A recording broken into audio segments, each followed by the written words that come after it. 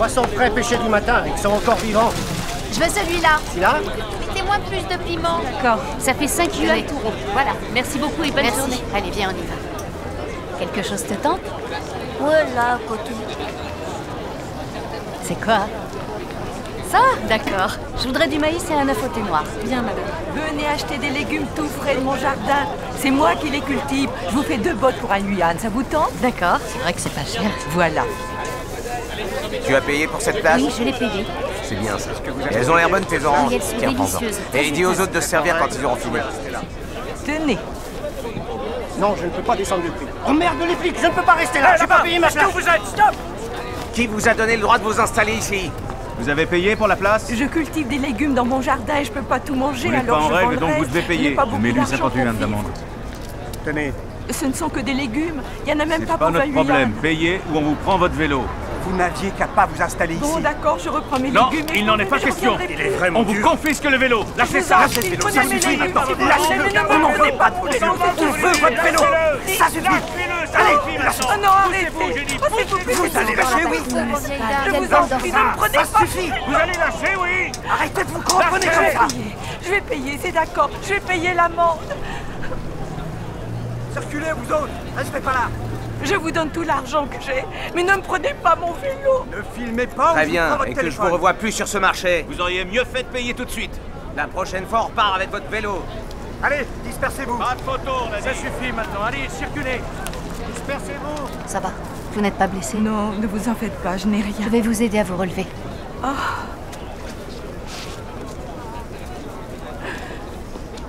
Merci, vous êtes très gentil. Non, c'est normal.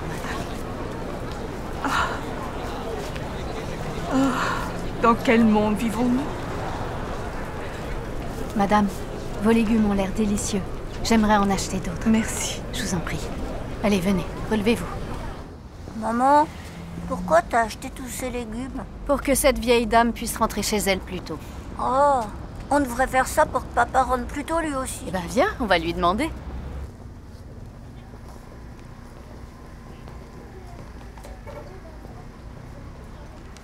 Bonjour, je voudrais payer. Vous avez trouvé ce que vous cherchiez Oui. Ça fera 55 les deux. Très bien. Tenez. Voilà. Au revoir. Au revoir. Dites-moi, jeune homme, vous voulez bien venir par là Pourquoi Bonjour papa Coucou. Vous ouvrez votre sac, s'il vous plaît. Pourquoi vous voulez voir mon sac Je suppose que vous le savez, j'ai des caméras. Oh. Bon.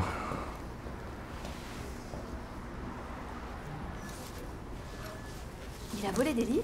C'est vraiment la honte. À ton âge, t'as pas honte? Non, Voler mais je suis sûre qu'il s'agit d'un malentendu. Les jeunes sont souvent perdus dans leurs pensées. Au lieu de reposer le livre, il l'a mis machinalement dans son sac. Oui, c'est ça. Je me suis pas rendu compte. Alors, combien je vous dois? 40 pour les deux.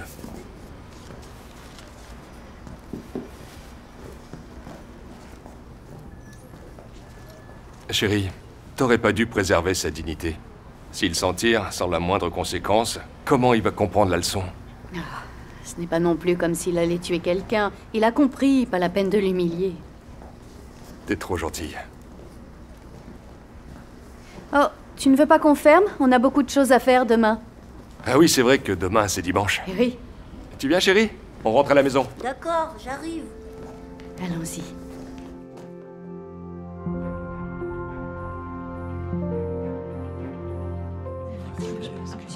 Après-demain, ce sera le dernier tour pour élire les dirigeants de l'Église cette année. Oui, exact. Absolument. Et on a tous hâte de voir les résultats. Oui. L'élection des dirigeants de l'Église est un événement qui influence l'entrée dans la vie de tous les élus de Dieu. Oui, Nous sommes tous concernés. en effet. Nommer des gens qui cherchent la vérité sont humains et droits et en mesure de diriger l'Église est le seul moyen d'être guidé vers la vérité et la parole de Dieu. C'est exact. C'est pourquoi l'élection des dirigeants de l'Église est une chose qu'il faut prendre très au sérieux. Et que pensez-vous de Sir Young Elle est très bien. Oui. Elle est humaine et cherche la vérité et elle est compétente. Mhm. J'y ai réfléchi. D'après les principes de l'élection des dirigeants, Sir Yang me paraît être une candidate convenable. À mon avis, Sœur Liu aussi est une bonne candidate parce qu'elle est astucieuse, extrêmement dynamique et qu'elle est avisée. Moi aussi, j'en suis persuadée. Dis, maman, Oui, chérie. ça ne vous dirait pas à toutes les deux de voter pour moi Quand on nomme un dirigeant, il faut agir en son âme et conscience. Et faire passer l'intérêt de l'Église en premier. On ne peut pas choisir selon ses émotions ou ses préférences.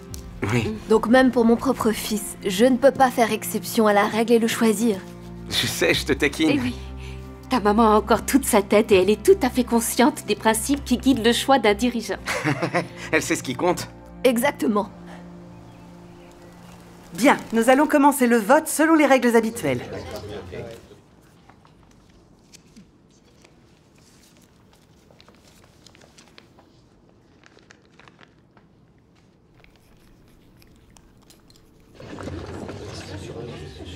Nous allons procéder au dépouillement. Je vais compter les voix. Et moi, je surveille.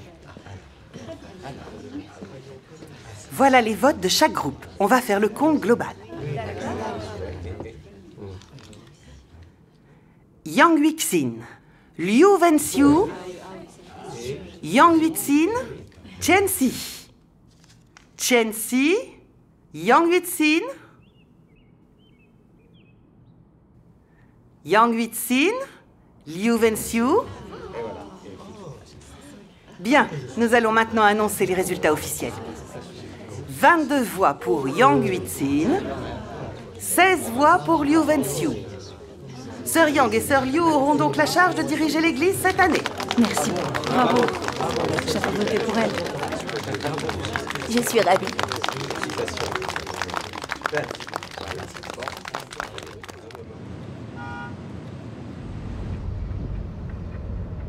Ça va, Wixin Hmm On dirait que quelque chose te tracasse. Oh. Je ne peux pas m'empêcher de penser que la sœur Liu est sournoise. Elle a été élue dirigeante de l'église. Et je dois t'avouer que ça m'inquiète. Hmm. D'après les principes des élections de la Maison de Dieu, les gens sournois ne peuvent pas être des dirigeants. Donc je me demandais si je devais en faire part à mes supérieurs. Ah En quoi est-elle sournoise? Au début, quand on collaborait sur des missions, je remarquais qu'elle ne s'ouvrait jamais sur sa propre situation. Il était impossible de la connaître. Dans le groupe qu'elle a dirigé, il est arrivé que des frères et des sœurs aient des problèmes. Ce n'est pas elle qui les réglait. Mais elle le faisait croire à nos dirigeants.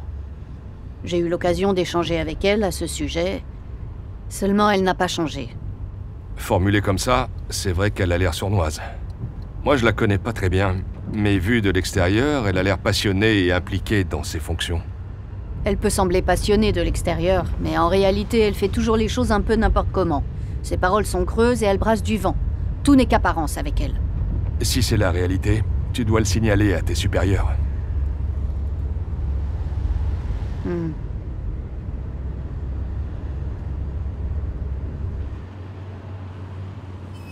Il vaut mieux ne pas se mêler des affaires des autres. Fais attention, si tu le dénonces à ton patron, il va forcément le mettre à la porte. Et là, tu peux être sûr que Monsieur Lee va t'en vouloir à mort. C'est pas la peine de le mettre en colère pour ça.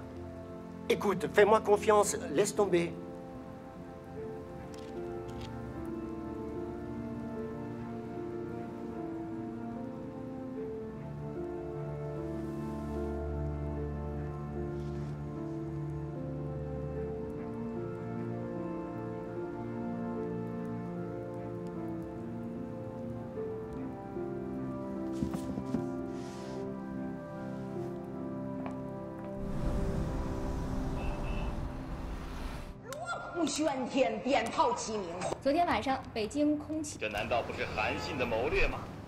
Eh, ça va Salut. Et toi, t'es pas trop occupé Non, personne ne vient jamais ici à cette heure-ci. Non, merci, c'est gentil, je vais juste te prendre un verre d'eau. Encore la télé C'est comme ça que tu passes tes journées Devant des séries idiotes Jusqu'à quand tu vas t'abrutir Le truc, c'est que j'arrive pas à y voir clair. À propos de quoi? Je n'étais pas la seule responsable des problèmes dans le travail de l'Église. Pourquoi j'ai été la seule à être renvoyée? Vraiment? Tu n'as toujours pas compris. Ce sont nos frères et nos sœurs qui t'ont signalé parce que tu ne faisais qu'énoncer des doctrines et des lettres, leur faire la leçon et les contraindre. Pourquoi tu ne te remets pas en question au lieu de tourner en rond et de m'en parler?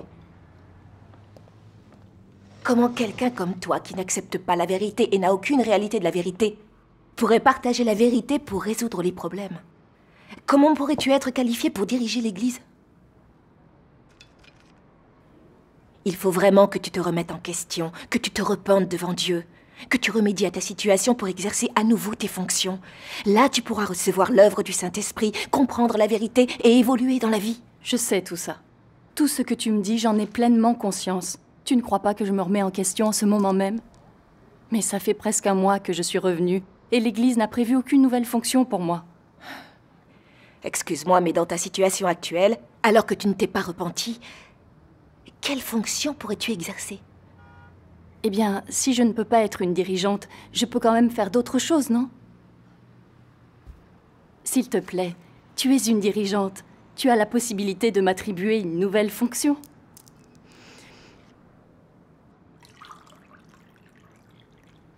Bon, écoute. On a besoin d'un chef de groupe dans l'un de nos lieux de réunion. T'as qu'à diriger ce groupe pour commencer. D'accord. Mais euh, Sir Yang ne va pas s'y opposer? Est-ce que Sir Yang va approuver? Choisir un chef de groupe est une question importante. Si on ne choisit pas le bon, on risque de retarder la croissance des gens dans la vie, et on nous le reprocherait. Exact. Il faut agir selon des règles. Et nommer une personne qui recherche la vérité et qui a de l'expérience. Voilà la volonté de Dieu. Oui. Viens t'asseoir avec moi, on va en parler. D'accord.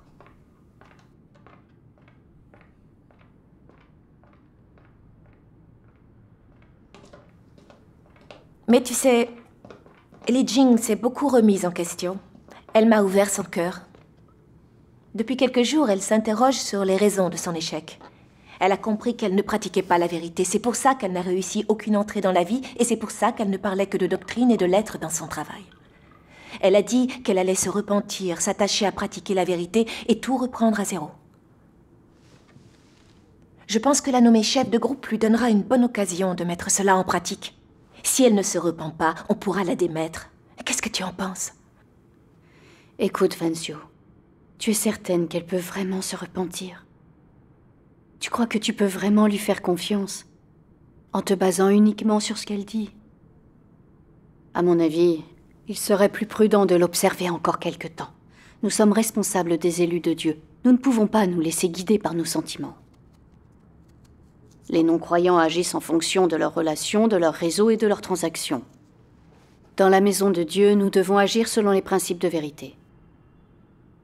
Les principes selon lesquels la maison de Dieu forme et emploie les gens nous disent que si une personne démise se repent sincèrement et peut faire des choses concrètes, on peut faire à nouveau appel à elle. Mais si elle ne se repent pas sincèrement, ce n'est pas une personne qui recherche la vérité. Alors on ne peut lui confier aucun poste ni aucune responsabilité. Hier encore, je suis allée à la réunion de leur groupe. Et j'ai vu que Li Jing ne comprenait pas du tout pourquoi on l'avait congédiée. Elle ne faisait rien d'autre que se justifier. Pour moi, ça ne ressemble pas à de la repentance. Dans cette situation, lui confier la direction d'un groupe, n'est-ce pas trahir les principes de la maison de Dieu? En fait, hier, Li Jing m'a dit qu'elle se sentait prête à exercer une nouvelle fonction. Elle voudrait que l'Église lui redonne une chance. Et je lui ai dit oui. Je lui ai dit qu'elle pourrait diriger un lieu de réunion.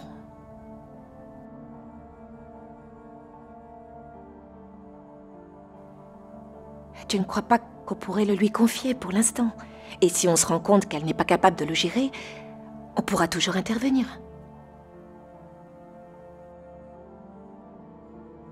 Pourquoi tu ne m'as pas dit que tu avais déjà accepté?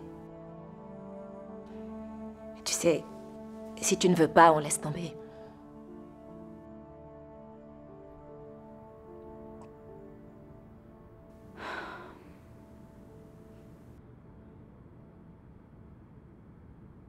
Tu as dit oui.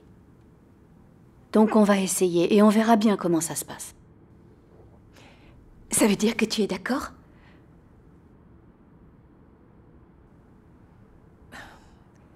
Tu es vraiment compréhensive et attentionnée. Je savais que tu dirais oui.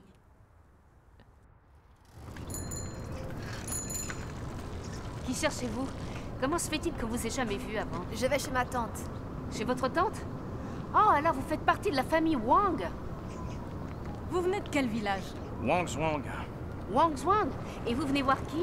Attendez, vous deux, venez ici. Où est-ce que vous allez? Ça suffit. Vous venez voir qui? Aller où je On vient voir une Pour amie. qui vous vous prenez? Doucement, jeune homme. Ne vous fâchez pas. On fait seulement notre travail. Merci de votre Vous compréhension. me faites perdre mon temps. Le Parti communiste chinois déraille encore. Vous avez vu Maintenant, il poste des seniors dans les rues? Oui. Ils persécutent les églises de maison de plus en plus. Maintenant, ils ont des yeux partout. Dorénavant, il faut être prudente quand on voyage. J'ai demandé à ma fille de venir aujourd'hui pour aider mon mari à monter la garde. Hmm. Nous pourrons nous consacrer à la réunion. Allez, asseyez-vous, ma sœur. D'accord. Alors, frères et sœurs, comment ça se passe pour vous en ce moment? Nous allons nous intéresser à votre entrée dans la vie. Surtout, n'hésitez pas à en parler. Très bien. Alors voyons voir si vous avez eu des difficultés et nous chercherons à les résoudre ensemble. Oui, d'accord. Entendu. C'est pour ça que j'aime beaucoup ces réunions. Oui, on est soutenu. Moi, j'ai une difficulté et je ne sais pas comment la résoudre. Euh, Dites-nous de quoi il s'agit. Eh bien, j'ai un fils. Il ne croit en Dieu que depuis peu de temps. Il a toujours aimé le monde et il ne s'acquitte pas de ses devoirs.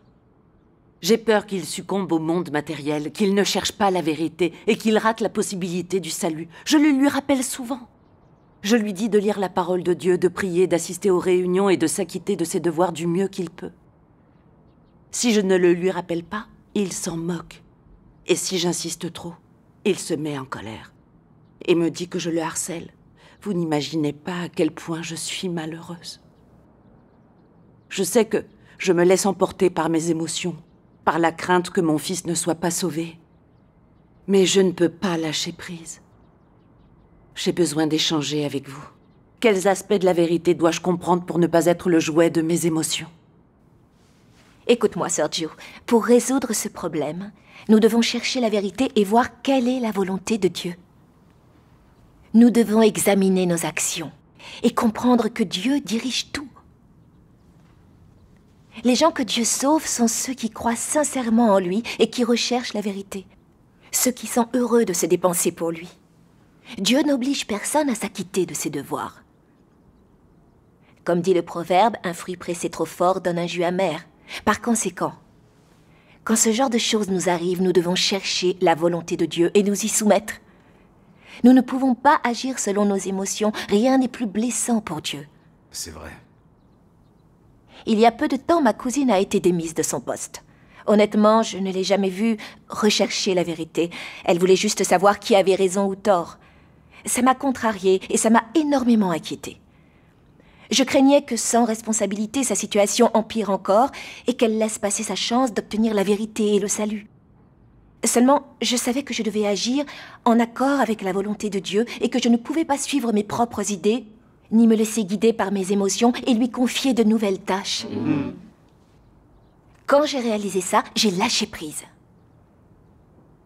Et puis, au bout de quelques jours, la situation de ma cousine a changé dans le bon sens.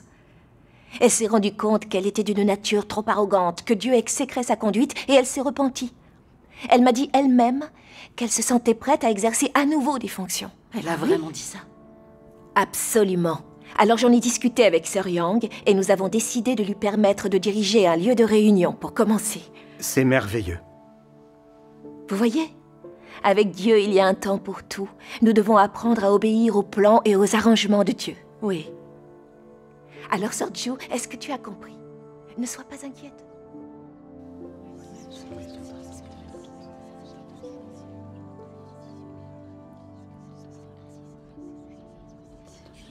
Je te remercie.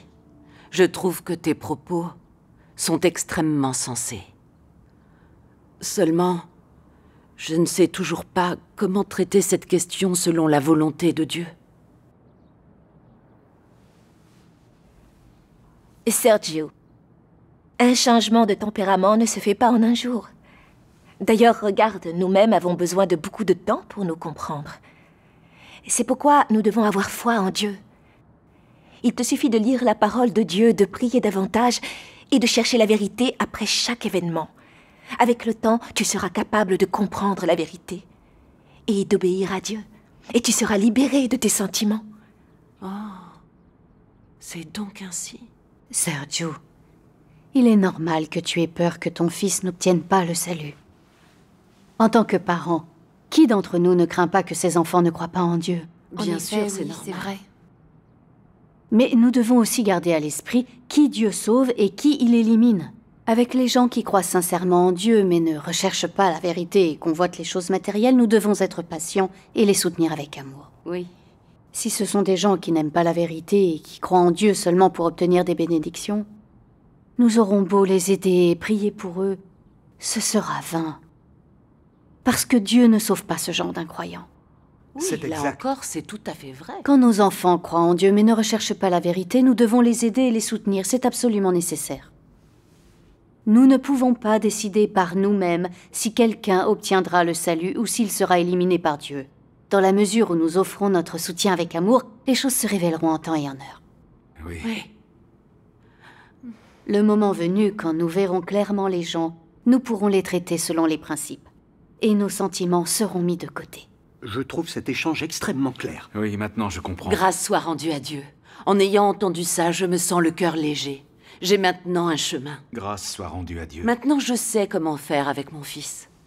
Il ne croit en Dieu que depuis peu de temps. Il n'a pas beaucoup lu la parole de Dieu et ne comprend pas grand-chose à la vérité. Il a encore besoin d'être aidé et soutenu avec amour. Oui, quand la communication de la vérité est claire, un chemin s'ouvre pour la pratique. Oui. Grâce soit rendue à Dieu. Je viens de me rappeler plusieurs passages de la parole de Dieu. Lisons-les ensemble. D'accord, d'accord. D'accord.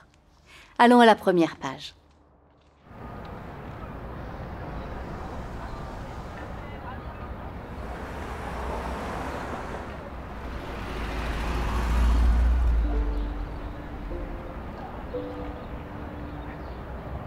En fait, hier, Li Jing m'a dit qu'elle se sentait prête à exercer une nouvelle fonction. Elle voudrait que l'Église lui redonne une chance. Et j'ai dit oui. Je lui ai dit qu'elle pourrait diriger un lieu de réunion. Et puis au bout de quelques jours, la situation de ma cousine a changé dans le bon sens. Elle s'est rendue compte qu'elle était d'une nature trop arrogante, que Dieu exécrait sa conduite, et elle s'est repentie.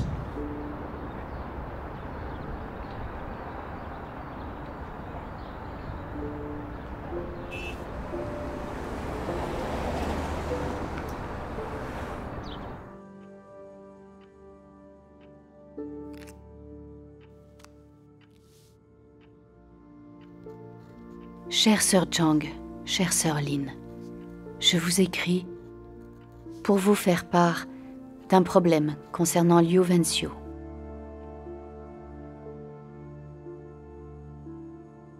À travers mes contacts avec elle, j'ai découvert qu'elle était sournoise et malhonnête, qu'elle ne parlait que de doctrine et de lettres, et que souvent, elle mentait et trompait les gens.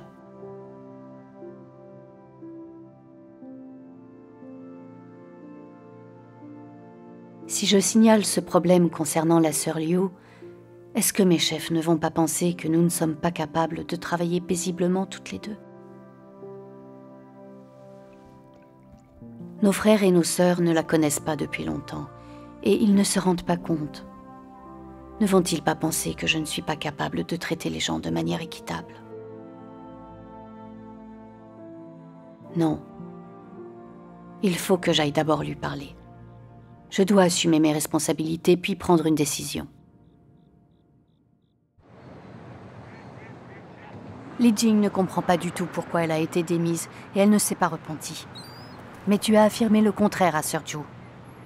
Et que ta décision de lui confier un groupe n'était pas guidée par tes émotions. Est-ce que tu n'as pas menti à nos frères et sœurs? Comment as-tu pu leur dire ça? Je reconnais que je n'ai pas été totalement honnête. Mais ça partait d'une bonne intention.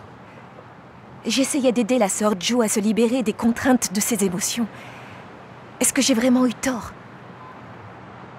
Tu as menti, tu as trompé les autres et tu t'es donné de l'importance. Comment peux-tu appeler ça venir en aide aux autres? C'est une vérité factuelle. Pourquoi te cherches-tu des excuses? Rien ne justifie de parler ainsi.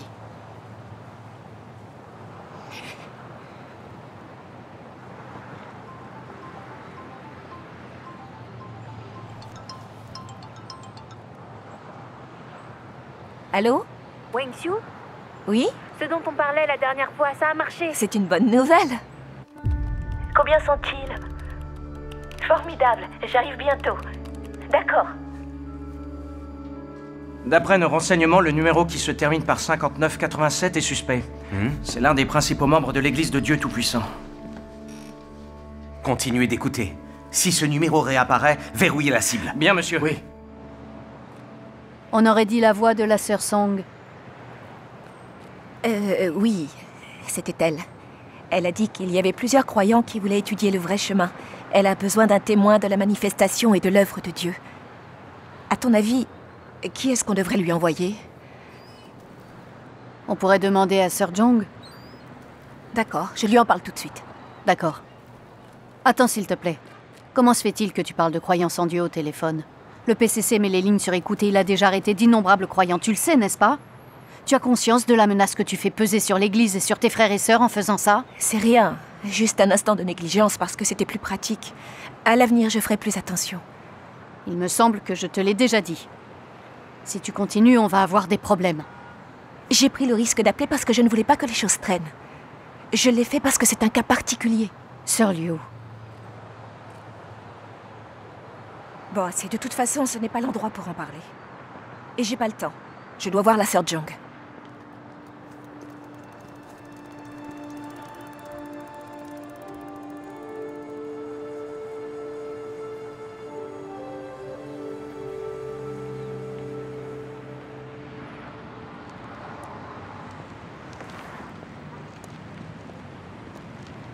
J'ai visité plusieurs lieux de réunion ces derniers temps et j'ai remarqué que les frères et les sœurs étaient enthousiastes. Et ils étaient encadrés par d'excellents chefs de groupe. Grâce soit rendue à Dieu. Comment ça se passe au lieu de réunion dirigé par Li Jing? Je suis allée à leur réunion hier et j'ai découvert des choses. J'avais l'intention de t'en parler. Hé, c'est Fang Jing Je me disais bien que je vous connaissais. Ça fait drôle Montez, de vous je voir emmène. ici. D'accord. Dis-moi, frère Fang, Mhm. Maintenant que c'est Li Jing qui dirige vos réunions, comment ça se passe dans votre église? À vrai dire, la vie de l'église est totalement anormale. Ah? Li Jing en a fait une salle de conférence, et elle n'échange pas sur la vérité à partir de choses concrètes. Elle ne fait que parler de doctrine et de lettres. Parfois, on lui pose deux fois la même question, alors elle s'impatiente, et dit que nous sommes de faible calibre. On se sent tous un peu mal à l'aise avec elle. Et on n'ose plus lui poser de questions. Oh, d'ailleurs, Sir Ju et son mari ne veulent plus venir aux réunions. Hmm. Sir Chen a voulu lui parler, hier après la réunion, mais elle n'a pas eu l'air d'accepter. C'est vrai. J'ai voulu parler avec elle hier, mais elle ne fait qu'argumenter. Et parler d'avant.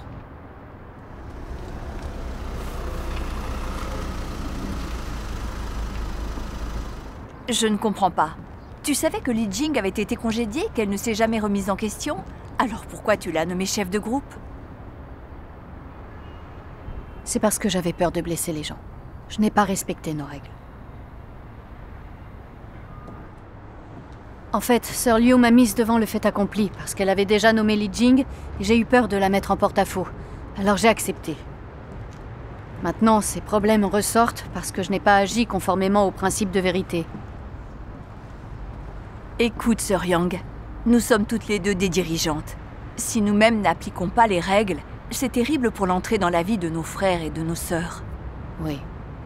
Parfois, moi aussi, je fais les choses selon ce que je ressens et essayant d'éviter de mettre les gens mal à l'aise. C'est comme à la réunion d'hier. Li Jing parlait de doctrine et de lettres. J'ai voulu l'arrêter, mais j'avais peur de la blesser. Et le fait de n'avoir rien dit m'a fait me sentir coupable. Nous devons échanger en nous basant sur notre expérience et notre compréhension de la parole de Dieu. C'est ce qui nous a été demandé. Et bien que je connaisse ce principe, je ne l'ai pas arrêté. J'ai préféré suivre mes sentiments et protéger notre relation. Au lieu de me demander si les réunions étaient profitables à mes frères et mes sœurs, j'ai été égoïste.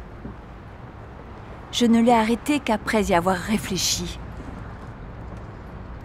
Sœur Yang, le problème de Li Jing est pour nous un rappel. Oui. Si nous ne respectons pas les principes de vérité et nous laissons guider par la philosophie satanique, nous risquons à coup sûr d'endommager le travail de l'Église et la vie de nos frères et sœurs. Notre devoir et de nous acquitter de notre tâche en respectant la volonté de Dieu et les besoins vitaux de nos frères et sœurs.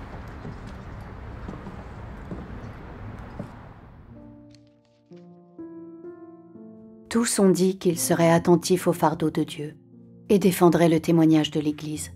Pourtant, qui a vraiment été attentif au fardeau de Dieu? Demande-toi. Es-tu quelqu'un qui a démontré de la considération pour le fardeau de Dieu? Peux-tu être juste pour Dieu? Peux-tu te lever et parler en ma faveur? Peux-tu mettre la vérité en pratique fermement?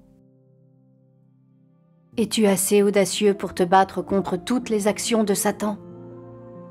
Pourrais-tu mettre tes émotions de côté et exposer Satan pour ma vérité? Peux-tu permettre que ma volonté soit accomplie en toi? As-tu offert ton cœur quand le moment crucial est venu? Es-tu quelqu'un qui accomplit ma volonté?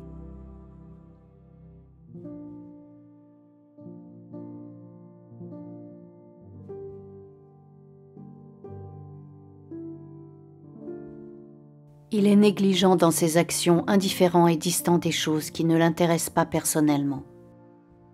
Il ne considère pas les intérêts de la maison de Dieu et ne démontre pas de considération pour l'intention de Dieu. Il n'assume pas le fardeau de témoigner de Dieu ou d'accomplir son devoir et n'a aucun sens de responsabilité.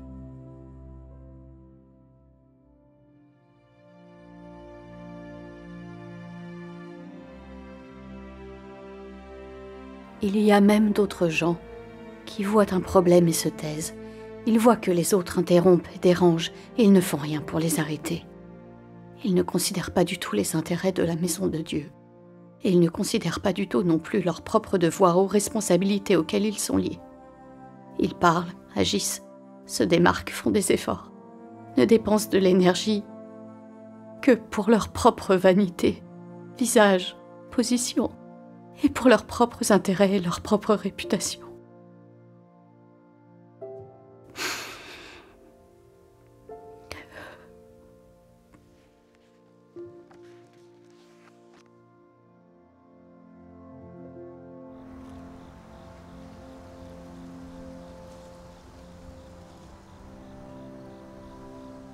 Chère sœur Chang, chère sœur Lin, je vous écris pour vous faire part d'un problème concernant Liu Wenxiu.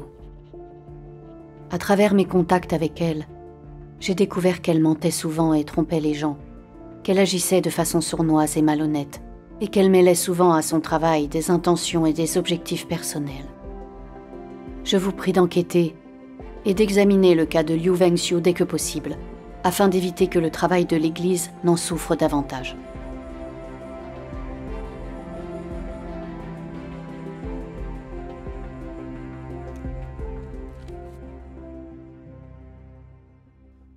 D'accord, d'accord, très bien. Alors n'oublie pas de les prévenir. Oui, d'accord, on ira ensemble. Hmm. C'est vrai, oui. Oui. Très bien. Alors j'irai avec Li Jing. D'accord, parfait. On parlera des détails sur place. Oui, parfait. Chef Joe, la cible est verrouillée. Bien, ne la perdez pas. On a affaire à quelqu'un de haut placé. Au moins une dirigeante de l'église. Il faut la garder constamment sous surveillance. Poster des agents dans tout le village. Dès qu'on sera prêt, on leur mettra tous la main dessus. Bien, monsieur. En approfondissant nos recherches, nous avons constaté que Liu Wenxiu mentait, qu'elle trompait les gens et qu'elle était sournoise et malhonnête. Oui. Les gens comme elle ne peuvent pas faire un travail concret. Ce sont de faux dirigeants et ils doivent être congédiés. Il faut vraiment la congédier. Oui. Le fait que nos frères et sœurs aient été capables de la démasquer et de signaler son cas prouve que nous poussons à la vérité et au discernement. Et que nous nous éveillons. Oui.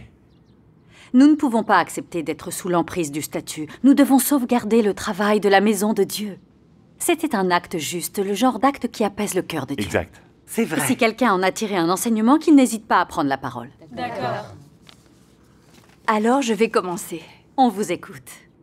Dans ce monde, celui qui est malhonnête ou malfaisant réussit, tandis que celui qui est honnête est opprimé et exclu. Dans la maison de Dieu, ce sont le Christ et la vérité qui règnent. Exact. Et seuls ceux qui aiment la vérité peuvent réussir et tenir bon. Exact. Ceux qui sont malhonnêtes ou malfaisants finissent par être démasqués. C'est absolument vrai ce qu'elle dit. Nous manquons de discernement, alors nous choisissons comme chef quelqu'un de malhonnête. Mais Dieu observe tout et il révèle tout. Et maintenant, quels que soient les tours qu'elle nous ait joués, au grand jour ou dans notre dos, Dieu a tout révélé. J'en conclus que Dieu aime les gens honnêtes et qu'il abomine les gens fourbes. Oui, grâce soit rendue Tout à comme Dieu. le dit la parole de Dieu Tout-Puissant, mon royaume a besoin de ceux qui sont honnêtes, pas des hypocrites ni des trompeurs.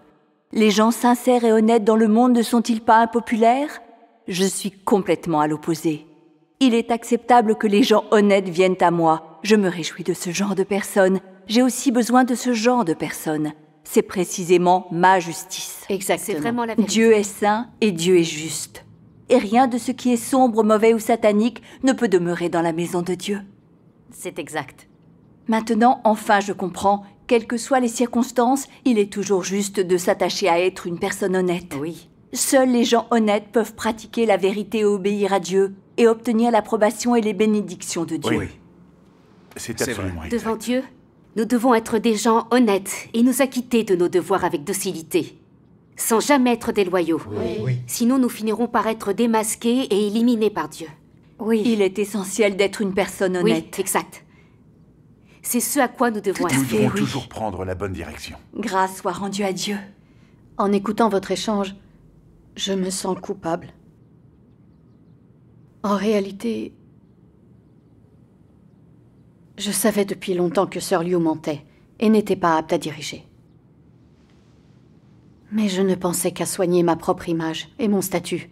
Je voulais protéger notre relation. J'ai préféré me taire.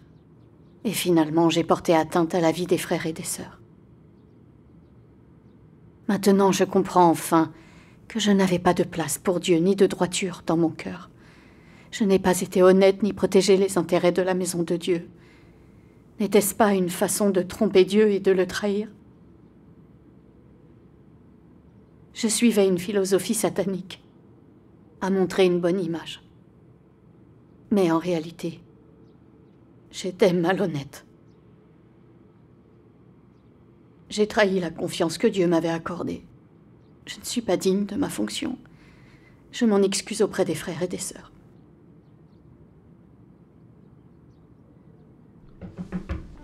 Qui a Il y a frappé quelqu'un devant la porte. Vite, il faut ranger tous les livres. On a un gros problème. Qu'est-ce qu'il y a? Hier, alors que Sir Liu animait une réunion, une bonne vingtaine de policiers ont fait éruption. Les sept participants ont été arrêtés. Quoi? Tenez, regardez. Les policiers ont aussi fait une descente chez Sir Liu. Et ils ont pris tous ses livres de parole de Dieu et plus de 10 000 yuan en liquide. Comment c'est Les possible agents du PCC ne sont que des bandits et des voleurs. Ils sont terrifiants. Exactement. C'est le mari de Sir Liu qui a écrit ça. Il dit que la descente a eu lieu parce que les appels téléphoniques de Sir Liu étaient sur écoute. Quoi? On sait que le PCC surveille nos téléphones. Comment a-t-elle pu être imprudente à ce point? Exact. Comment a-t-elle pu utiliser son portable? En Quelle effet. bêtise Il faut savoir tout de suite qui elle a appelé. Et dire à ses frères et sœurs d'aller se cacher. Très bien. Frère Wang, occupez-vous-en. Oui, d'accord. C'est aussi ma faute, s'ils se sont fait arrêter. Il y a peu, j'ai dit à Sœur Liu qu'elle ne devait pas parler de croyance en Dieu au téléphone. Elle ne l'a pas accepté. Et je n'ai pas insisté. Mais vous saviez qu'elle s'entêtait. Pourquoi vous ne l'avez pas signalé Si vous l'aviez fait, on aurait pu la surveiller et l'en empêcher. Elle n'aurait pas pu agir de son propre chef. Exact. Et nos frères et sœurs n'auraient pas été arrêtés. Sir Yang, tu ne respectes donc aucun principe? Tu savais que Sir Liu était malhonnête et inapte à diriger, mais tu n'as rien dit. Elle représentait une menace pour notre sécurité et tu ne l'as pas signalé Tu es complètement irresponsable. Quelles que soient les circonstances, nous devons préserver les intérêts de la maison de Dieu et protéger au mieux nos frères et sœurs. Oui. C'est moi que j'ai voulu protéger. J'avais peur de la blesser. Je pensais que si je l'empêchais de passer des appels, et si le travail de l'Église était retardé, je ne pourrais pas en assumer la responsabilité. Qu'est-ce que tu veux que je te dise? Tu avais peur d'assumer tes responsabilités, mais tu n'as pas préservé l'Église. Tu n'as donc pas le moindre principe. Est-ce que tu crois réellement en Dieu? Si tu avais démasqué Liu Wenxiu le jour de son élection, l'Église l'aurait destitué et rien de tout cela ne serait arrivé. Tu te rends compte? Tout ça parce que tu as voulu plaire à tout le monde et que tu n'as pas respecté les principes de vérité. Que ça nous serve de leçon. Maintenant, le plus urgent, c'est de protéger nos frères et sœurs. Alors séparons-nous et allons les prévenir. Très bien, je vais prévenir tous les groupes à l'est de la ville.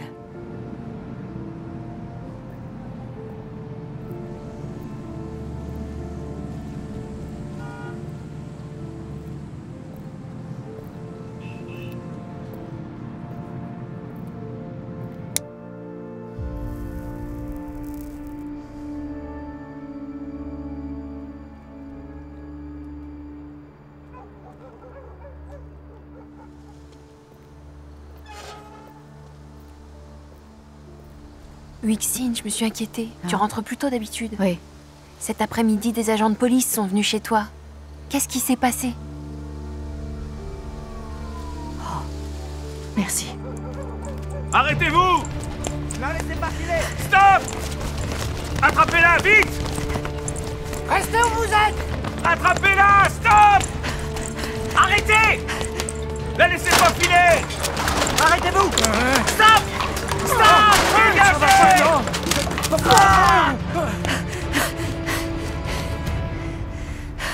Wixine, ça va? C'est pas vrai. Où elle est passée?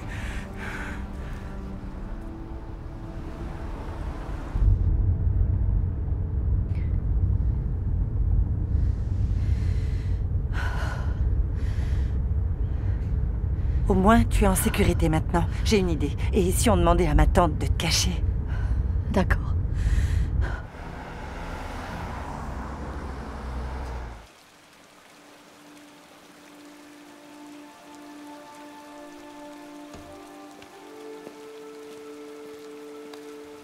Huxine Oui.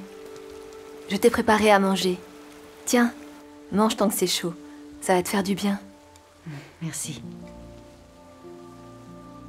Ne t'inquiète pas, tu ne risques rien ici, d'accord? Et tu peux rester aussi longtemps que tu voudras.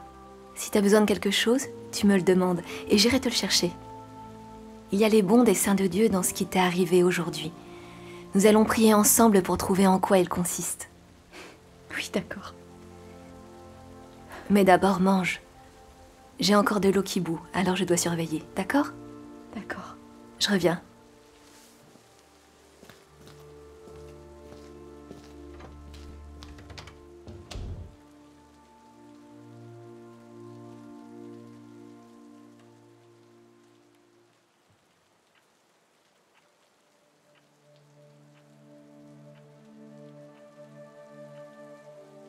Sœur Yang, tu ne respectes donc aucun principe Tu savais que Sœur Liu était malhonnête et inapte à diriger, mais tu n'as rien dit. Elle représentait une menace pour notre sécurité et tu ne l'as pas signalé. Tu es complètement irresponsable.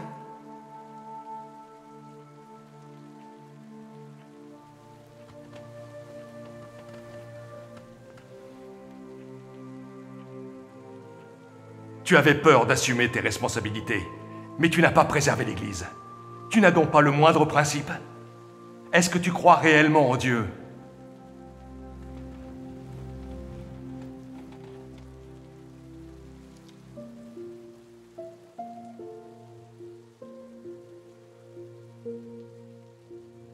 Des tempéraments corrompus t'entravent, te brident et te contrôlent à chaque instant. Ils apportent des obstacles et des difficultés quand tu pratiques la vérité et sers Dieu. C'est pour cela que la vie semble si fatigante.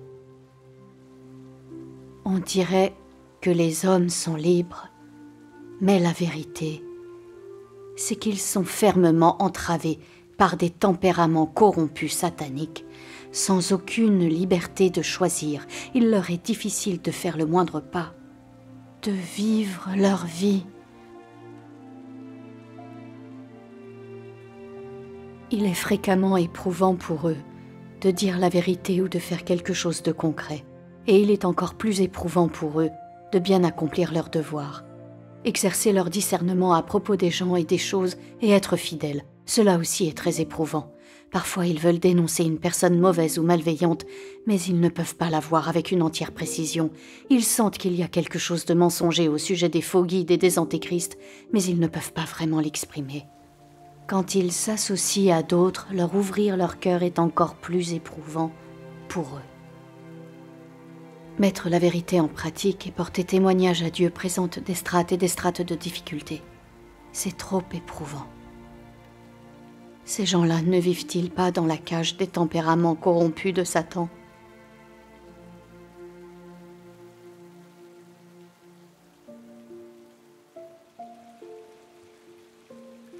De nombreuses personnes croient qu'être une bonne personne est vraiment facile. Qu'il suffit de parler moins et de faire plus, d'avoir bon cœur et de ne pas vouloir de mal. Que cela assure que vous prospérerez partout où vous irez, que les gens vous aimeront, et qu'il est suffisant d'être ce genre de personne. Ils ne veulent même pas poursuivre la vérité, mais se contentent simplement d'être de bonnes personnes. Ils pensent que poursuivre la vérité et servir Dieu est trop compliqué, que cela exige la compréhension de nombreuses vérités, et qui peut accomplir cela? Ils veulent simplement choisir la solution de facilité, être de bonnes personnes et accomplir une petite partie de leur devoir, et tout ira bien.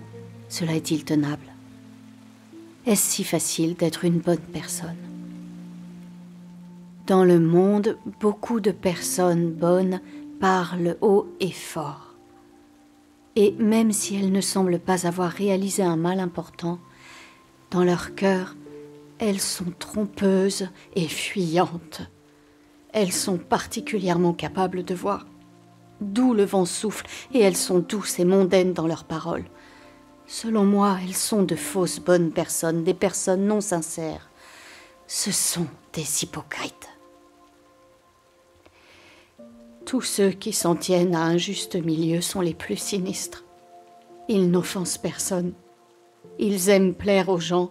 Ils s'adaptent aux choses. Et personne ne peut voir leur jeu. Ils sont un Satan vivant.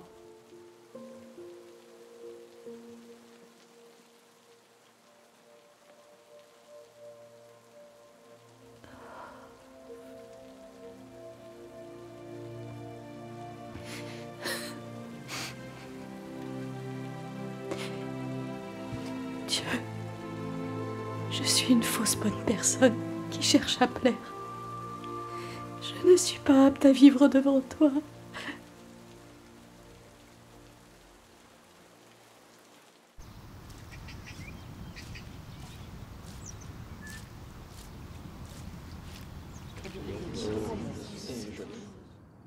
Si autant de nos frères et sœurs se sont fait arrêter, c'est parce que je n'ai pas pratiqué la vérité. Je souffre quand j'y pense. Et je me sens horriblement coupable. Je m'en veux d'être aussi égoïste et malhonnête. Pour donner une bonne image de moi-même aux gens, j'ai mis en péril le travail de la maison de Dieu. J'ai fait que Dieu m'abomine et m'exècre. Maintenant, je comprends enfin que je ne suis pas une si bonne personne que ça. J'ai succombé à une philosophie satanique. Je n'ai pas pratiqué la vérité. Je voulais seulement plaire et être apprécié. Oui. Sans le jugement et le châtiment de Dieu, et si cela ne m'avait pas été révélé, dans l'épreuve et dans l'épurement, je n'aurais jamais compris ma corruption de personne qui cherche à plaire. Aujourd'hui, je veux m'affranchir de ce tempérament corrompu. Mais je ne sais pas comment comprendre et pratiquer. Mes sœurs, pourriez-vous échanger avec moi? C'est un excellent sujet de discussion. Oui. Merci pour ce témoignage. En plus, vous avez du recul sur votre expérience, ce qui nous permet à tous d'en profiter. Oui. Par le passé, moi aussi j'étais comme ça. Sur bien des aspects, je suivais des philosophies sataniques. Je m'imaginais que si je ne péchais pas et ne faisais pas le mal, je pratiquais la vérité. Et je me considérais comme quelqu'un de bien.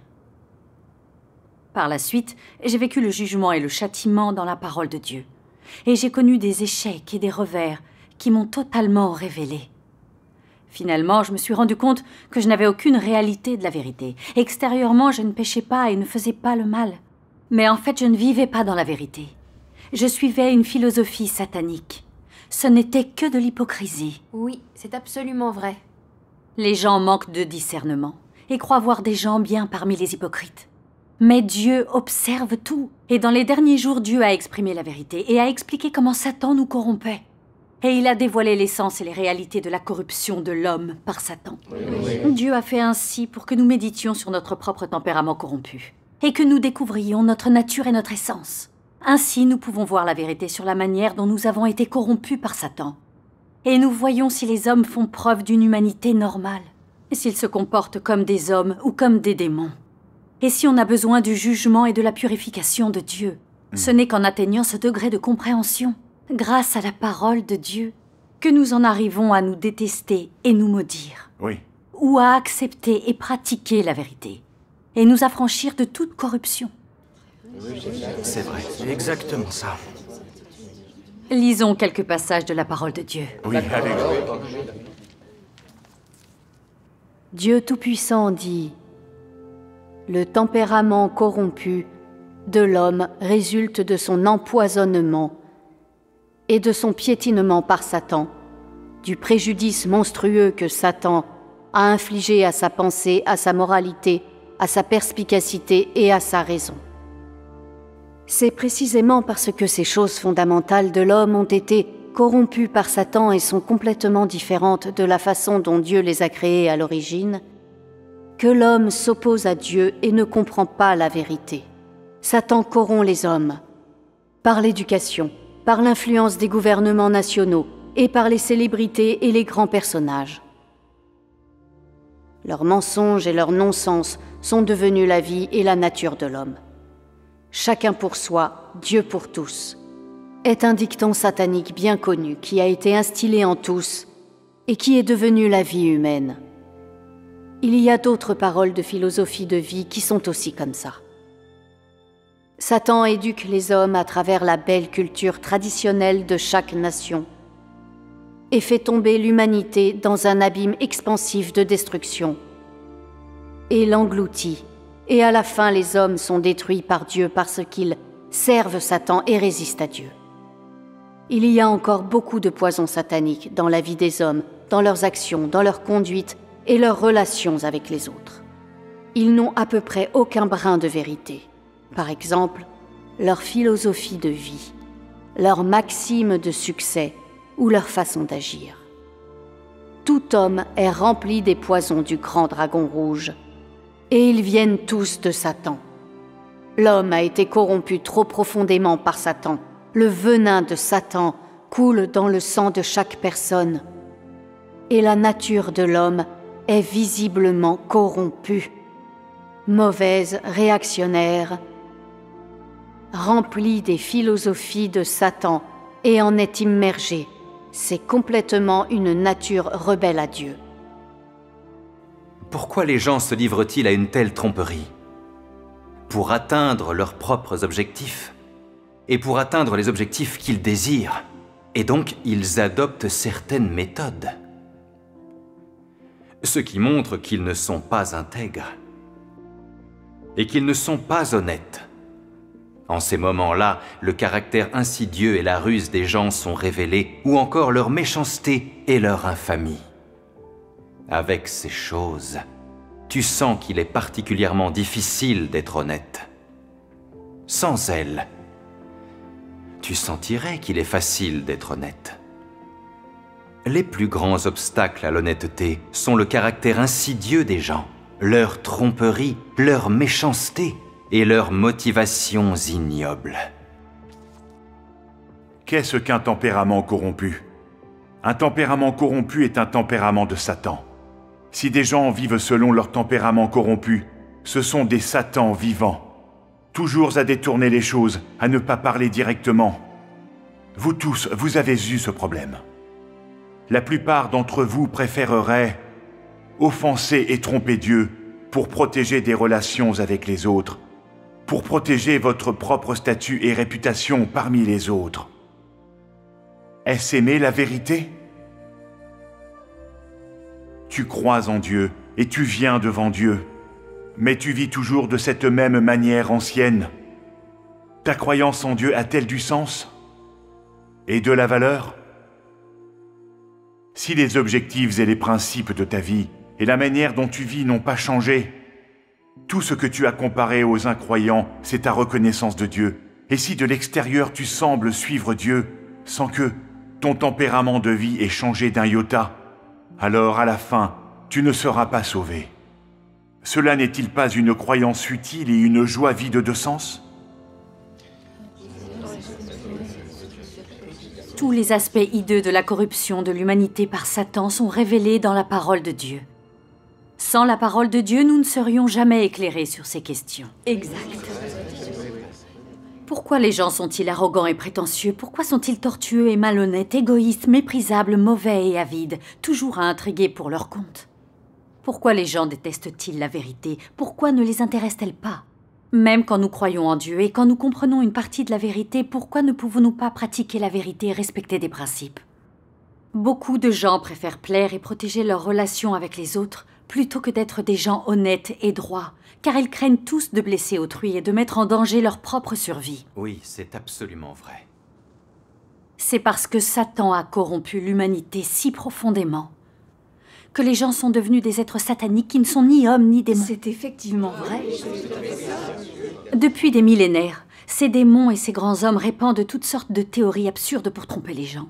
Ils recourent en particulier à la culture traditionnelle et à la courtoisie féodale, à des philosophies comme le confucianisme, le taoïsme et d'autres encore pour empoisonner et corrompre les gens. Et pour instiller dans la tête des gens toutes sortes de logiques, de théories, de pensées et d'idées sataniques, du genre Il n'y a jamais eu de sauveur. Chacun pour soi et malheur aux vaincus. Ceux qui ont de la matière grise contrôlent ceux qui ont des muscles. On ne changera pas le monde. Le savoir est plus important que tout, et il y en a tant d'autres. Il y a aussi l'harmonie est un trésor, la patience est une vertu. Mm. Ceux qui en savent le plus parlent le moins. Sage est celui qui se tient à l'écart. Toute vérité n'est pas bonne à dire, ne jamais négliger de se faire aimer. C'est vrai, c'est vrai. Et aussi, de deux mots, choisir le moindre. Et l'intelligence dans la vie consiste à savoir faire des compromis. En effet. Et aussi gagner des faveurs en étant agréable et l'inimité en ne l'étant pas. Parlez peu et vous vous ferez des amis. C'est exact. Ces philosophies et ces poisons sataniques ont trompé et empoisonné génération après génération. Ils sont profondément enfouis dans le cœur des hommes. C'est tout à fait ça. Depuis des millénaires, les hommes suivent des philosophies et des principes sataniques. Ils deviennent toujours plus arrogants et suffisants. Ils sont malhonnêtes, faux et sournois. Ils confondent vrai et faux, bien et mal. Si bien que nous n'avons pas de posture juste ni de droiture, et nous ne vivons pas vraiment à l'image de l'homme. C'est vrai. Ce sont les conséquences de la corruption des gens par les philosophies et les principes sataniques. Absolument. Dans le passé, on voulait se conformer à ces philosophies sataniques. Hmm. Grâce à Dieu qui a tout révélé, on peut comprendre et discerner. Oui, grâce soit rendue à Dieu. C'est vrai. Ces philosophies sataniques empoisonnent profondément les gens. Oui. Dans notre société, la plupart des gens s'en tiennent à un juste milieu pour contenter tout le monde. Quand ils voient des êtres faire le mal, ils n'osent pas les arrêter. Et quand ils voient d'honnêtes gens qui souffrent, ils ne les protègent pas. Exact. Les rois des démons sont au pouvoir et le mal se généralise, et ils le remarquent à peine, ils ne pensent qu'à se protéger eux-mêmes. Oui. Même quand on démolit leurs maisons, quand on saisit leurs terres, ou qu'on les prive abusivement de leur emploi, ils se laissent faire, ravalent leurs protestations, et n'osent pas s'opposer à la tyrannie. Oui, c'est ce que j'ai vu. C'est la triste vérité. Les droits de l'homme sont piétinés, les libertés sont supprimées, et la croyance religieuse est cruellement éradiquée. Les chrétiens des églises de maison sont arrêtés et persécutés depuis longtemps, et au vu et au su de la population. Mais combien osent dénoncer les crimes de ces démons? Combien élèvent la voix pour défendre la vérité et la justice? Tant de gens se contentent de flotter sur les vagues et d'aller où la vie les mène. Ils cèdent aux forces maléfiques de Satan et ne cherchent qu'à plaire. Cela n'aide-t-il pas les forces du mal à devenir plus arrogantes En effet. Pourquoi notre monde devient-il toujours plus sombre et plus mauvais? Pourquoi le négatif est-il favorisé et le positif supprimé? Pourquoi les malfaiteurs sont-ils libres alors que les honnêtes gens sont maltraités? Où se situe la racine de tous ces problèmes? Ça mérite qu'on y réfléchisse. Oui, je suis d'accord. C'est vrai. Beaucoup trop de gens cherchent à plaire dans notre société. Si chacun de nous était plus honnête, le monde ne serait pas aussi sombre et aussi mauvais qu'il l'est aujourd'hui. Exactement. Oui, c'est la vérité. Tout ce que pratiquent ces gens qui veulent plaire, ce sont des philosophies et des règles sataniques. Nous savons qu'ils protègent leurs intérêts dans tous leurs faits et gestes. Même s'ils croient en Dieu, ils ne sont pas sincères vis-à-vis de Dieu et ne pratiquent pas la vérité. C'est vrai, oui. Même s'ils paraissent fervents, se dépensent et s'acquittent de leurs devoirs. Dès que quelque chose porte atteinte au travail de l'Église ou menace les élus de Dieu et implique qu'ils suivent les principes de vérité, ils ont peur de blesser les autres ou de s'interposer. Alors ils reculent pour prolonger leur ignoble existence et abandonnent toute vérité. Quand ils voient quelqu'un déranger ou interrompre le travail de l'Église, ils s'en moquent. Quand ils voient des malveillants former des cliques, diviser l'Église et perturber la vie de l'Église, ils ferment les yeux et se bouchent les oreilles. Quand ils voient de faux bergers et des antéchrists répandre des idées fausses pour tromper les gens et les opprimer, ils n'osent pas les dénoncer ni les arrêter. Et si d'aventure, d'autres les dénoncent et les signalent, eux les protègent par peur de les offenser. C'est exact. Ces gens-là ne font que se protéger et prendre soin d'eux-mêmes. Ils n'ont ni le désir, ni le courage de résister au mal et encore moins d'être vertueux. Oui, en effet. Quand ils comprennent une partie de la vérité, ils ne veulent ni la pratiquer, ni s'y dévouer. Ils sont incapables de faire front pour protéger le travail de l'Église ou leurs frères et sœurs. Ne sont-ils pas tout simplement égoïstes, intéressés et manipulateurs? Ne sont-ils pas dans la servitude de Satan et dans le domaine de Satan? C'est clairement la vérité. Ces gens-là ont l'air formidables en apparence. Mais le sont-ils réellement? Alors, qu'est-ce qui leur fait défaut? Le sens de la droiture. Exactement. Et une conscience. C'est ça. Sans conscience ou sans droiture, peut-on être quelqu'un de bien?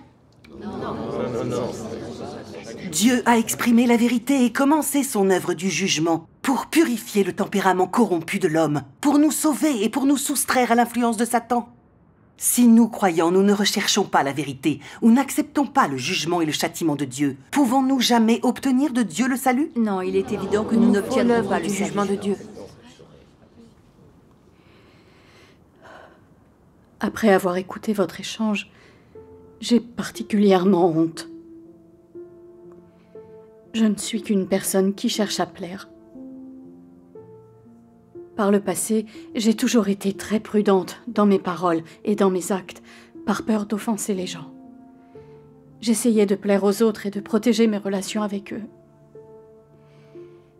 Au fond de moi, je n'ai jamais cherché à être une personne honnête ni à pratiquer la vérité.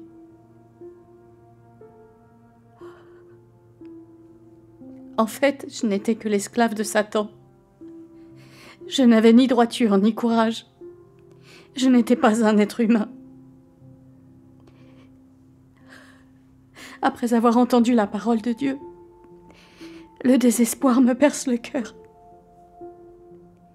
Je sens que le tempérament juste de Dieu ne peut être offensé. Dieu n'aime pas les gens qui cherchent à plaire. Ils utilisent la ruse, et leur nature, c'est la tromperie. Ce sont des hypocrites bons à l'extérieur et vils à l'intérieur.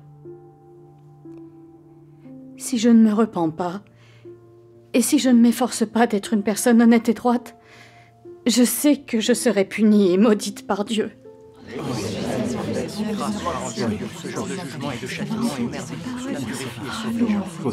Parler ainsi à vous tous m'a aussi été profitable. J'ai toujours pensé que...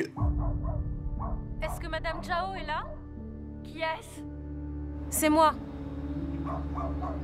L'administratrice Ma est ici. Vite, cachez les livres. Oh, bonjour, Madame Ma. Je ne savais pas si vous étiez là. Hmm. Il y a un problème Qu'est-ce qui se passe? On m'a rapporté que des étrangers sont venus chez vous aujourd'hui. Qu'est-ce qu'ils font là? Ah, ils voulaient louer. Mais la maison ne leur a pas plu, alors ils sont repartis. Pourquoi cette question? Il y a un souci? Oui, je vais vous expliquer. On est en mission. On cherche les croyants dans toutes les communautés et les villages. Méfiez-vous des gens de l'extérieur. Et si vous découvrez des croyants, vous nous le signalez sans attendre, c'est bien compris? D'accord, je le ferai. Dites, Madame Zhao, il fait froid aujourd'hui. Vous ne séchez pas votre linge à l'intérieur? Ah non, en fait, il y a mon fils qui dort, il travaille de nuit, alors j'essaie de ne pas le déranger. Oh. Hé Hé, maman, c'est quoi tout ce bruit? Qu'est-ce qui se passe encore? Ah, bonjour, Madame Ma. Cheng Peng, vous aussi vous êtes là. Ah, oui. Oh, C'est bientôt l'heure. Il faut que j'aille chercher mon petit-fils. Madame Ma, je peux faire autre chose pour vous aider? Oh, non, merci, ça ira. Merci à vous. Désolée de vous avoir dérangé. C'est rien, à bientôt. Au revoir et bonne soirée. Au revoir. Et n'oubliez pas, si vous voyez des croyants, vous les signalez. Il y a une récompense de 1000 yuan pour chaque personne dénoncée. Très bien. Au revoir, Madame Zhao. Mes frères et sœurs, vous pouvez sortir, ils sont partis. Qu'est-ce qu'ils vous ont dit? L'administratrice de la communauté a entendu dire qu'il y avait des gens chez moi. Alors elle est venue vérifier. Je pense qu'on nous surveille. Oui. Restons-en là pour aujourd'hui. D'accord. Il vaut mieux rentrer, on se réunira une autre fois. Notre maison est relativement sûre. Nos voisins travaillent en dehors du village. En Chine, nous autres croyants, nous devons tout le temps rester sur nos gardes. Frère Jeng, Oui apportez du bois pour le feu. Ah, d'accord. Grâce soit rendue à Dieu, je commence enfin à me connaître moi-même. Qu'est-ce qui vous paraît le plus difficile dans votre pratique? Il m'arrive de rencontrer des frères et des sœurs qui font preuve de corruption. J'aimerais le leur dire, mais j'ai peur qu'ils ne soient pas contents. Je me dis que si je les blesse, on ne s'entendra pas bien. Ah.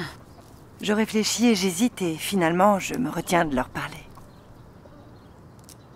Pourquoi est-ce si difficile de pratiquer la vérité Parce que nous avons été corrompus par Satan. Nous avons une nature tortueuse, égoïste et méprisable. Nous voulons protéger nos intérêts. Il est donc difficile de pratiquer la vérité. Oui. C'est très vrai. C'est comme à la réunion de ce jour. J'ai vu Li Jing parler de doctrine à n'en plus finir. Elle parlait sans même s'arrêter. Elle faisait tout pour se rendre intéressante. Je vous laisse imaginer combien ça m'a agacé. Pendant tout ce temps, je me disais, à quoi peut servir une réunion comme celle-là Mhm. Je l'aurais bien interrompu pour le lui faire remarquer, mais j'avais peur de la mettre dans une situation gênante et de la blesser. Ah, J'ai failli prendre la parole, mais je me suis retenu. Ces gens qui veulent plaire ne sont que des esprits confus qui n'ont aucune droiture. Oui. Ils se font du mal et ils en font beaucoup aux autres. L'horrible incident qui s'est produit dans l'église devrait nous servir à tous de leçon. Exactement, oui. Dites-moi, si nous ne pouvons pas nous affranchir de la corruption, comment obtiendrons-nous le salut? Bonne question. Oui, nous avons un tempérament corrompu, et le seul moyen d'obtenir le salut, c'est de subir le jugement et le châtiment de Dieu, et d'essuyer un certain nombre de revers et d'échecs. Oui. Autrement, nous ne pourrons jamais comprendre notre corruption et nos déficiences, sans parler de nous affranchir de notre tempérament et d'obtenir le salut. D'accord. Oui. Par le passé, j'ai souvent suivi des philosophies et des principes sataniques. Dans mes relations, j'ai toujours essayé de préserver la paix et d'éviter les conflits. Même quand je voyais les autres parler ou agir de façon contraire à la vérité, je fermais les yeux et j'essayais de protéger notre relation. Je me souviens d'une année, je travaillais comme diaconesse dans une église. Et j'ai vu que celle qui dirigeait l'église était très arrogante. Elle ne parlait que de lettres et de doctrines pour se rendre intéressante et pour s'affirmer. Et elle écartait et attaquait quiconque émettait une opinion contraire à la sienne. De nombreux frères et sœurs souffraient de ces restrictions. À l'époque, je voulais la dénoncer. Mais je craignais qu'elle me mette des bâtons dans les roues après. Alors je n'ai rien dit à mes supérieurs. Par la suite, son comportement nous a tous tellement agacés que nous avons fini par la dénoncer et la démasquer et la faire congédier. Il a fallu tout ça pour que je me sente enfin en paix. Par la suite, j'ai réfléchi sur ma conduite. Pourquoi est-ce que je ne l'avais pas dénoncée avant? Si je l'avais dénoncée et démasquée plus tôt, elle n'aurait pas pu faire autant de mal dans l'Église, ni nuire aussi longtemps à nos frères et sœurs. En effet. Ce qui m'a bloquée et contrainte, c'est mon tempérament satanique, égoïste et sournois. Pour préserver ma réputation et mon statut, j'ai regardé une fausse dirigeante pavoiser et nuire aux élus de Dieu, et je ne l'ai pas démasquée. Est-ce que j'ai fait autre chose que protéger une fausse dirigeante et me rendre complice de Satan? C'était une violation de la réalité, une rébellion contre Dieu, une offense à son tempérament.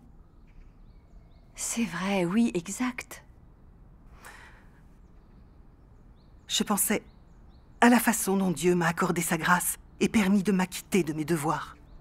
Mais je ne tenais pas compte de sa volonté et je ne protégeais pas notre travail. Au lieu de cela, j'ai laissé une fausse dirigeante nuire aux élus de Dieu et je n'ai pas osé l'offenser. J'ai compris que j'étais égoïste, méprisable, manipulatrice, sournoise et mesquine. Une personne qui répond à la bonté par la trahison. J'ai vraiment fait en sorte que Dieu me déteste et m'exècre. Quand j'ai compris tout cela, j'ai éprouvé de la haine envers moi-même et des regrets. Je suis tombée à genoux devant Dieu pour me confesser et me repentir. Et j'ai décidé de chercher la vérité, de m'affranchir de mon tempérament corrompu de personnes qui cherchent à plaire pour naître à nouveau. Grâce, soit, rendue à Dieu. Grâce lui soit rendue. Récemment, j'ai lu ce passage de la parole de Dieu. Vous devez savoir que Dieu aime un homme honnête. Dieu a l'essence de la fidélité. Et ainsi, sa parole est toujours fiable. En outre, ses actions sont irréprochables et incontestables. C'est pourquoi Dieu aime ceux qui sont absolument honnêtes avec lui. L'honnêteté signifie donner son cœur à Dieu, ne jamais le tromper en quoi que ce soit, être ouvert avec lui en toute chose, ne jamais cacher la vérité, ne jamais faire ce qui trompe les supérieurs et leurre les inférieurs, et ne jamais faire ce qui n'a le but que de s'attirer des faveurs de Dieu. Bref, être honnête, c'est s'abstenir de toute impureté dans ses actions et ses paroles, et ne tromper ni Dieu ni l'homme. Amen. Sœur Yang, lisez le passage suivant. D'accord. Grâce soit rendue à Dieu. Il doit y avoir une norme pour une bonne humanité. Ce n'est pas prendre le chemin de la modération, ne pas s'en tenir aux principes, ne déplaire à personne, flatter tout le monde, être doux, doucereux et sage, mondain et faire en sorte que chacun se sente bien, cela n'est pas la norme. Alors, quelle est la norme? La norme est qu'ils aient un cœur sincère envers Dieu, l'homme et les événements, qu'ils assument des responsabilités. Et ceci est flagrant aux yeux de tous et est ressenti par tous de façon évidente. De plus, Dieu sonde leur cœur et les connaît tous. Quelqu'un qui est naturellement convenable est-il sincèrement une bonne personne? Quel genre de personne est une personne sincèrement bonne? Qui a la vérité aux yeux de Dieu? D'abord et avant tout, elle doit comprendre la volonté de Dieu et comprendre la vérité. Ensuite, elle doit être capable de mettre la vérité en pratique avec pour fondement la compréhension qu'elle en a. Des personnes comme celle-ci aiment la vérité et pratiquent la vérité. Ce sont de bonnes personnes aux yeux de Dieu. C'est vrai. Grâce soit rendue à Dieu. Après avoir lu la parole de Dieu, j'ai compris. Dieu aime les gens honnêtes. Et seuls les gens honnêtes sont de bonnes personnes. Oui. Les bonnes personnes ont une conscience et une raison. Elles sont sincères vis-à-vis de Dieu. Mhm. Elles se soucient de la volonté de Dieu et traitent les autres avec équité. Oui. Oui. Ce sont des gens honnêtes et droits. Ils ne confondent pas l'amour et la haine. Et ils sont vertueux. Hmm. Ils savent aimer et accepter la vérité. Et pratiquent la vérité une fois qu'ils la comprennent. Seuls ces gens-là sont de bonnes personnes aux yeux de Dieu. C'est exact. Mais je prenais pour de bonnes personnes ceux qui savaient s'entendre avec tout le monde sans les offenser, ceux qui protégeaient leurs relations quand il y avait un problème et qui n'avaient aucune droiture. C'était à l'évidence des gens qui cherchaient à plaire, des gens sournois, ceux que Dieu déteste et dédaigne. L'œuvre de Dieu m'a fait comprendre quelles règles une personne doit suivre. Et m'a montré qu'on ne doit jamais se fier à son imagination et ses fausses idées. Oui. Je devais seulement tâcher d'être une personne honnête selon la parole de Dieu. Autrement, toute ma vie, je croirais en vain et je n'obtiendrai jamais l'approbation de Dieu. C'est Oui. absolument Oui. vrai ce qu'elle dit. Il est crucial de comprendre la vérité. C'est ce qui nous permettra d'avoir du discernement, de connaître nos déficiences et de savoir quoi rechercher. En effet, cet échange me permet de comprendre comment être une bonne personne. Une personne véritablement bonne est honnête, droite et équitable. Oui. En effet, oui. Effectivement. Et d'ailleurs, le Seigneur Jésus a dit que votre parole soit oui, oui, non, non. Ce qu'on y ajoute vient du malin. Dieu Tout-Puissant dit Dans l'Église, vous resterez ferme dans votre témoignage pour moi, soutiendrez la vérité, le bien est bien, et le mal est mal, et vous ne confondrez pas le noir et le blanc. Vous serez en guerre avec Satan, et devrez le vaincre complètement, pour qu'il ne se lève jamais. Vous devez tout sacrifier pour protéger mon témoignage.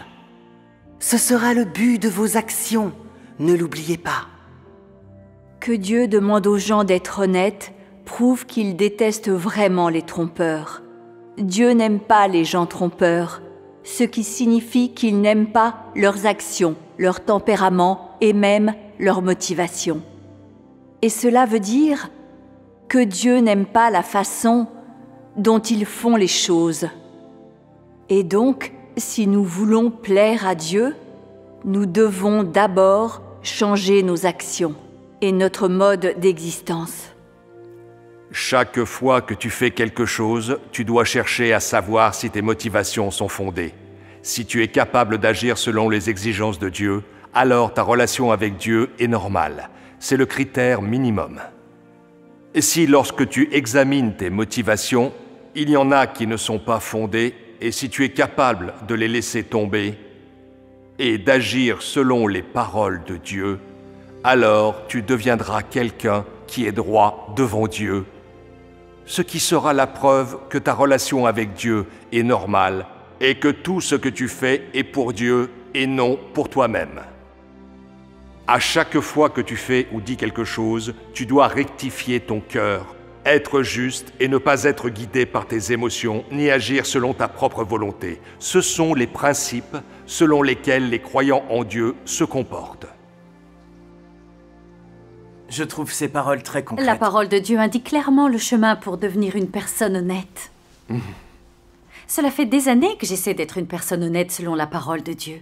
Je prie souvent et je me soucie d'accepter l'observation de Dieu. Quand il se passe quelque chose, je recherche la vérité et j'agis selon la volonté de Dieu. Surtout quand il s'agit des principes de vérité, j'essaie de comprendre comment correspondre à la vérité. Comment favoriser le travail de l'Église et l'entrée dans la vie de mes frères et sœurs, et puis je m'y conforme. Au début, quand je pratiquais, j'étais en proie à un conflit intérieur. J'étais entravée par ma vanité et le souci de ma réputation et je craignais de blesser les gens. Oui. Mais quand j'ai eu conscience d'enfreindre les principes de vérité, d'être prisonnière du passé, et de la façon dont j'avais nui au travail de l'Église et à la vie de mes frères et sœurs, j'ai regretté et je me suis dit que Dieu attendait mieux de ma part. Le moment où j'avais le plus de remords, c'est quand je repensais à la parole de Dieu. À chaque fois que tu fais ou dis quelque chose, tu dois rectifier ton cœur, être juste, et ne pas être guidé par tes émotions ni agir selon ta propre volonté. Ce sont les principes selon lesquels les croyants en Dieu se comportent. Mhm. J'ai maintenant le sentiment que Dieu est à mes côtés, qu'il observe chacun de mes faits et gestes. Donc à présent, je ne peux plus décevoir Dieu. Oui. Quoi qu'il en soit, je dois renoncer à la chair et pratiquer selon la parole de Dieu. Je ne peux plus être quelqu'un qui cherche à plaire. Vivre ainsi est trop égoïste, c'est vraiment méprisable. Et ça me rend indigne de porter le nom d'humain. Oui. En effet. Et c'est ainsi que j'ai pratiqué. Et doucement, sans m'en rendre compte, j'ai compris une partie de la vérité. J'ai perçu mon propre tempérament corrompu. Quand il arrive quelque chose qui fait que ce tempérament corrompu réapparaît, j'ai du discernement. Au fond de moi, je me déteste et je me méprise, et je suis motivée pour renoncer à la chair. Je ne ressens plus les contraintes de ma vanité, ni le souci de ma réputation ou de mon statut. Et aussi je m'exprime et j'agis plus honnêtement qu'avant. Je me suis libérée en grande partie de ma sournoiserie. Dans mes tâches, je suis plus responsable et mon travail est de plus en plus efficace. Grâce soit rendue à Dieu. Mon expérience m'a montré que la parole de Dieu avait le pouvoir de changer et de purifier les gens. Tant que nous pratiquons la parole de Dieu et tâchons d'être honnêtes, nous pouvons comprendre la vérité et avec le temps nous affranchir de notre tempérament satanique arrogant, prétentieux, égoïste, méprisable et sournois, pour vivre vraiment à l'image de l'homme et obtenir l'approbation de Dieu. Grâce soit rendue à Dieu. Et cette façon de vivre l'œuvre de Dieu est très concrète. Après cet échange, ça me paraît beaucoup plus clair. Maintenant, j'ai un chemin à suivre pour me libérer de ma corruption. Grâce, soit rendue à Dieu. Tant que nous tâchons d'être honnêtes, que nous recherchons la vérité quand il nous arrive quelque chose, que nous renonçons à nos mauvaises intentions et que nous pratiquons la vérité, nous pouvons entrer dans les réalités de la vérité et être des gens honnêtes. Oui. Oui. Je réalise qu'avant, dans ma foi, Je m'acquittais de mes devoirs avec enthousiasme, et lorsque je comprenais certaines doctrines, je pensais comprendre la vérité.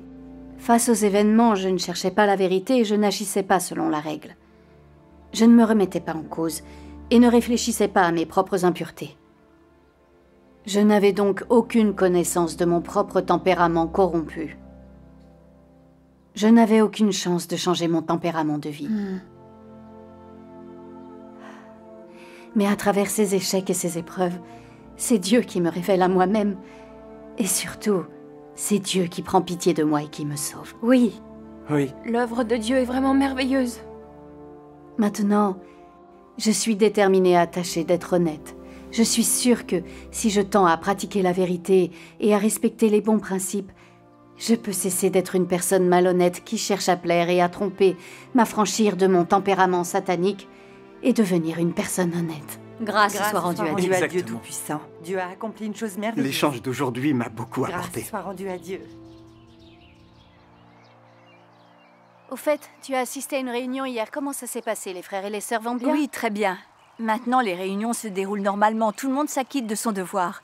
Ils commencent à rechercher la vérité et à vivre la parole de Dieu. Avoir un chef de groupe qui recherche la vérité, ça change vraiment tout. Grâce soit rendue à Dieu. Remercions-le. Finalement, avec toi comme partenaire dans mes fonctions, nous avons agi selon des principes face aux événements. Et je suis apaisée et joyeuse. C'est une bénédiction de Dieu. Oui. Grâce soit rendue à Dieu.